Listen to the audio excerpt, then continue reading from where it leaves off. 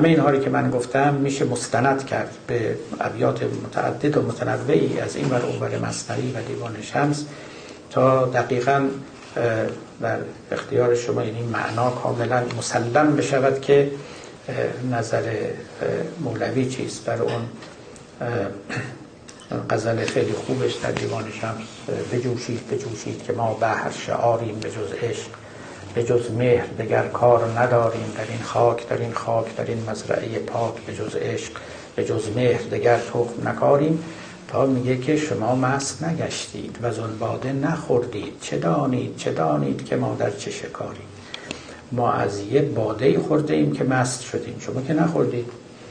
خب شما که نخوردید پس مست نشدید. حالا یا اون ساقی باید از اون بادن به شما بده که خوش به سعادتتون اگر نداد اقلا از دیدن مستی اونها شما قدری مست بشید. بگید عجب حال خوشیست عجب سرخوشم. و برید بپرسید بگید شما خود از کدام خم هستین که در سبو داری به قول حافظ دلم زباده تو مست گشت. نوشت با. خود از کدام خم هستین که این در سبو داری اینا از کجا بردی از کدام خم خانه از کدام شراب خانه قدری هم به ما بده خونداریم. جمال مهتری که لب ما خشک و تو تنها خوری. این رو هم بگیم یه قدری هم بر ما بریز. زنچه خوردی ای فلک پیمای چست چست خیز. زنچه خوردی جرعی بر ما بریز. خو نداریم ای جمال مهتری که لب ما خشک و تو تنها خوری. این سر خم را به گهگل در مگیر که این برهنه نیست خود پوشش پذیر. سر این خم رو مپوشان. و در این شرابخانه رو مبند به دیگران هم نصیبی بده. زان باده که در مستبه عشق فروشند ما را دو ساغر بده. و گو رمضان باش. حتی در ماه رمضان هم برای ما این مستی رو به ارمغان بیاور. پس از دیدن اون سرخوشی از دیدن اون مستی اگر شما هم مست شدید اونگاه پیروی خواهید کرد. و نهایتا هم اگر نصیب شما باشد یک جرعه هم به شما خواهند نوشاند. و الا می توانید به راه دیگری که اون راه نصیب شماست و برای شما نهاده اند بروید. اما اما انکار هم نکنید چون این انکار شرط عقل نیست شرط انصاف نیست. نباید آدمی بگوید دیگران همه خطا می‌کنن این مستی ها همه کاذب است. اینم البته درست نیست. در میانشون به قول مولوی اون که گوید جمله حقند احمقی است. و اون که گوید جمله باطل او شقی است. اگه بگه همه درستن درست نیست. اگه بگه همه هم غلطن بازم درست نیست. به حال دست کم در مقام انصاف انکار نکن بلکه چیزی به دستت برسه و یا اینکه به راهی برو که کلون میسر لما خلق له از کلمات پیامبر است منصوب ایشون هر کسی رو برای یه چیزی ساختن. قل اعملو فکلون میسر لما خلق له کار کنید عمل کنید فعالیت کنید هر کسی رو برای کاری ساختن. و جهان هم با همین تنوع حرفه ها و پیشه ها انتظام می نور و ناری مور و ماری ساختند. هر کسی را بهر کاری ساختن. هر کسی را بهر کاری ساختن میل آن را در دلش انداختن. لذا از این میلی و استعدادی که آدمی داره می‌فهمی که او رو برای چی ساختن.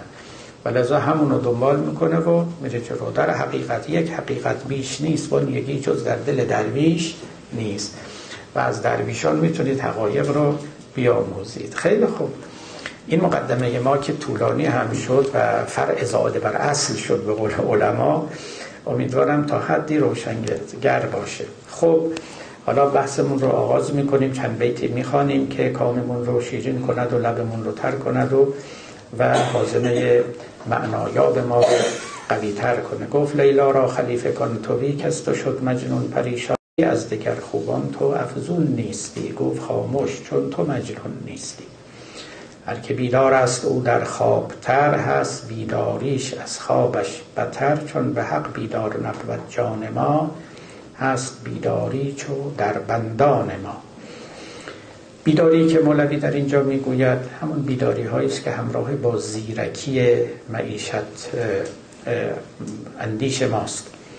این زیرکی رو بارها از مولانا نقل کردیم که زیرکی رو در مقابل عشق می‌گذارد. در مقابل مجذوبیت می‌گذارد. تکیه بر عقل مطلق بدون شیفتگی بدون مجذوبیت و بدون معنویت. این می شود زیرکی که آدمی سراپا در مقام تدبیر زندگی است و هیچگاه از خیال چنان که خواهد گفت معیشت بیرون نمی رود یا هر که بیدار است او در خوابتر هست بیداریش از خوابش بتر از نظر مولانا. سعدی هم در مورد ظالمان این رو میگه. مولوی اینجا رو در مورد غیر عارفان میگه. سعدی چی میگه؟ میگه ظالمی را خفته دید هم نیم روز. گفتم این فتنه از خوابش برده به. وان که خوابش بهتر از بیداری است همچنان در زندگانی مرده به. واقعا همینطوره. آدمی که ظالمه بهتره بخوابه بلکه بهتره بیمیره. ابن تیمیه یکی از فقهای اهل سنت است بسیار مشهوره. در همون دورانی که مغولان به مصر حمله کردند او هم زنده بود و فتاوای غریبی داد. خب قرار نبود که در اون شهر کسی مست بکنه ولی ابن تیمیه فتوا داد. گفت بذارید این مغولان مست بکنن شراب بخورن بهشون بفروشید. ابن اینا از اونایی هستن که خوابشون از بیداریشون بهتره. بیدار بشن آدم می‌کشن. ظالمی را خفته دیدم نیم روز گفتم این فتنه از خوابش برده به. وان که خوابش بهتر از بیداری است همچنان در زندگانی مرده به. خفته و مرگش خفتگی و مرگش بهتر از بیداری و زندگیش. هر که بیدار است او در خوابتر. از بیداریش از خوابش بتر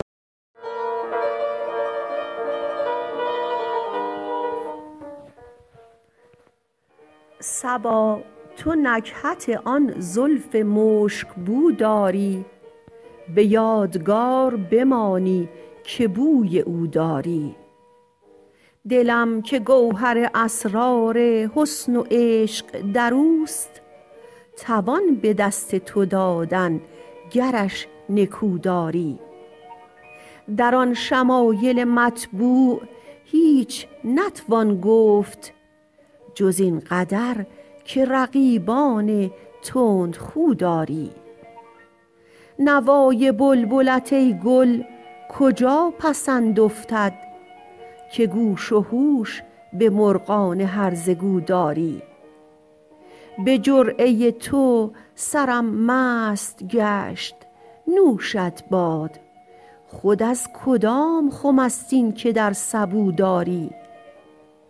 به سرکشی خود ای سرو جویبار مناز که گر بدو رسی از شرم سر فرود آری دم از ممالک خوبی چو آفتاب زدن تو را رسد که غلامان ماه رو داری.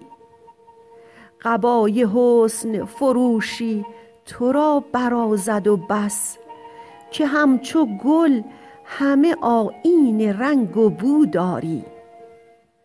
ز کنج صومعه حافظ مجوی گوهر عشق قدم برون نه اگر میل جستجو داری.